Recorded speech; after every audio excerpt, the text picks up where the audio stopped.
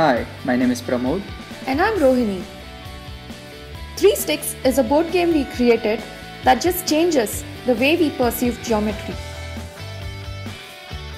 Here's how the game works.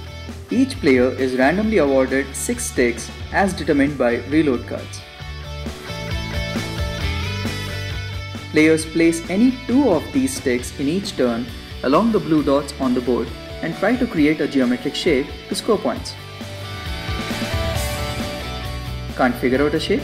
Turn evil and spoil a potential opportunity for the next player. Or use the mighty power cards to get any other type of stick. Or slow down other players by reducing their points or skipping their turn. Each player is awarded 5 such power cards at the beginning of the game which can come handy at troubling times.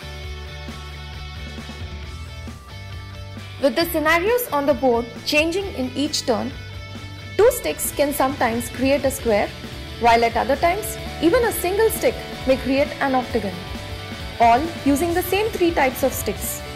All you need is a creative eye to grab the opportunities and score points.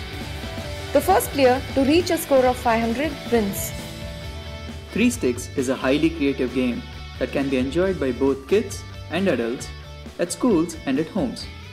Geometry is not just about shapes and their properties, it's a way of thinking. Think geometrically.